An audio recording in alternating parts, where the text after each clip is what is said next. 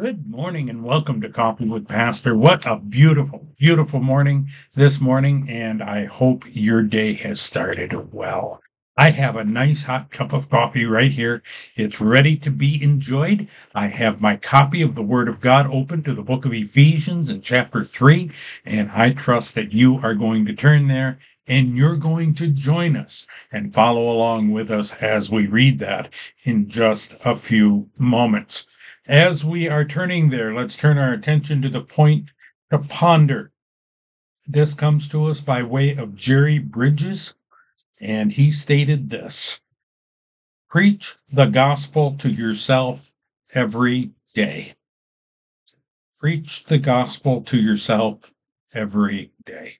And certainly we ought to remind ourselves of the gospel every day. We ought to remind ourselves of what we once were and what God has done for us in order to change us, in order to redeem us, in order to reconcile us to Himself. And so keep that in mind, ponder it, meditate on it. Um, many of these truths are worthwhile to commit to our memory, to commit significant time to, that we might grow by what others have said. I mentioned before, we are in Ephesians chapter 3.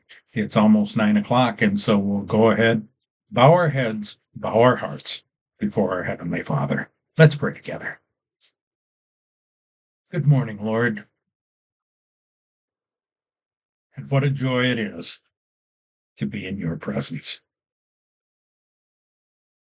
Father, tonight we look forward to being with our church family. And what a time we anticipate as we continue to study the book of Exodus. Lord, as we come before your throne, help us to understand that you are capable of doing anything, everything we can ever ask of you. In fact, Father, you are able to do far above what we can think and of what we can ask for. Your power is abundant. Your grace is amazing. And Father, we come before you as a people, as a needy people, asking that you would indeed work on our behalf. Father, it is necessary, it is needful for you to bless each one of us. Continue to meet our needs. Continue to manifest your presence with us. Continue to guide us each step of the way, to empower us for the tasks at hand, that we might be pleasing in your sight.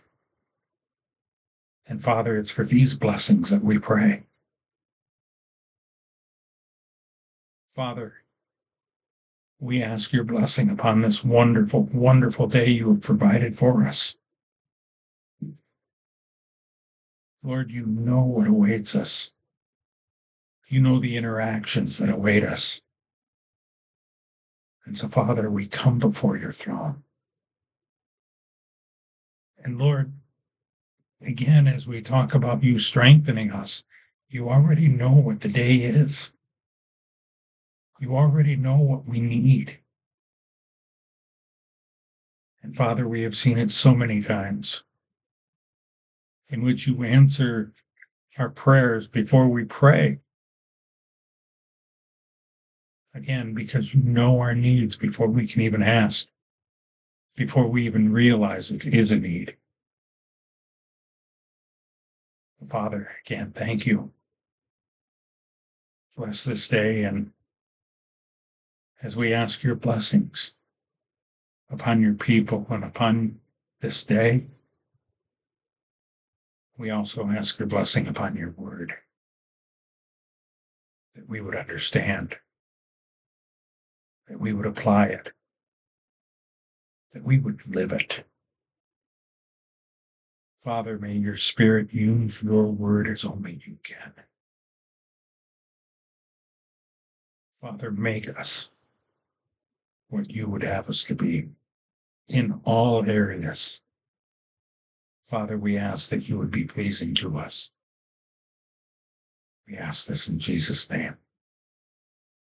Amen. Ephesians chapter 3. For this cause, I, Paul, the prisoner of Jesus Christ for you Gentiles, if ye have heard of the dispensation of the grace of God which is given me to youward, how that by revelation he made known unto me the mystery, as I wrote afore in few words, whereby, when ye read, ye may understand my knowledge in the mystery of Christ, which in other ages was not made known unto the sons of men, as it is now revealed unto his holy apostles and prophets by the Spirit that the Gentiles should be fellow heirs and of the same body, and partakers of his promise in Christ by the gospel, whereof I was made a minister according to the grace of God, given unto me by the effectual working of his power. Unto me, who am less than the least of all saints, is this grace given, that I should preach among the Gentiles the unsearchable riches of Christ, and to make all men see what is the fellowship of the mystery.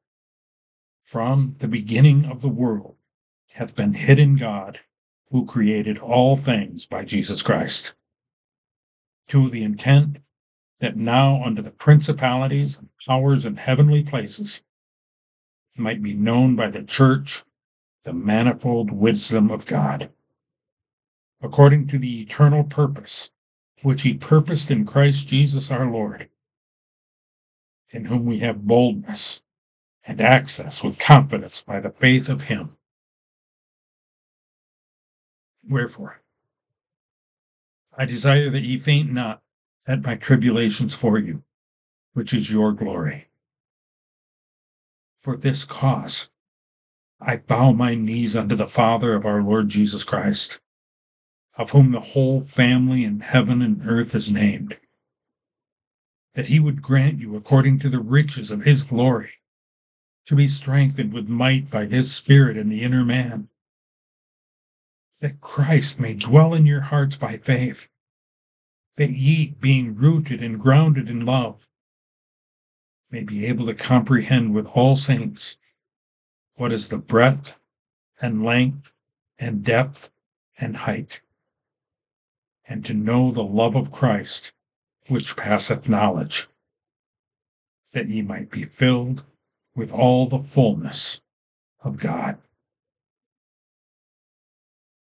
Now unto him that is able to do exceeding abundantly above all that we ask or think, according to the power that worketh in us. Unto him be glory in the church by Christ Jesus throughout all ages, world without end. Amen. And may God add his blessing to the reading of his word.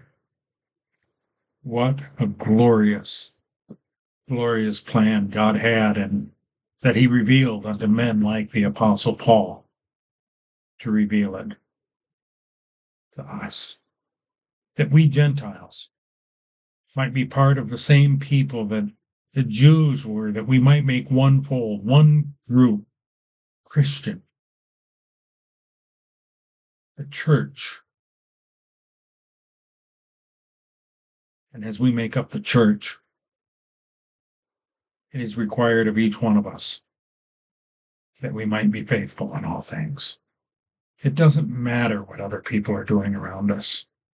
It doesn't matter what our society is you and I who claim the name of Christ must be faithful. Study his word, learn his word, live his word.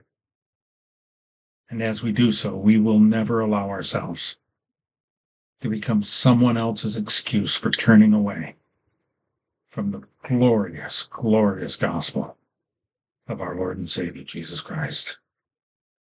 Beloved, we certainly do love each and every one of you.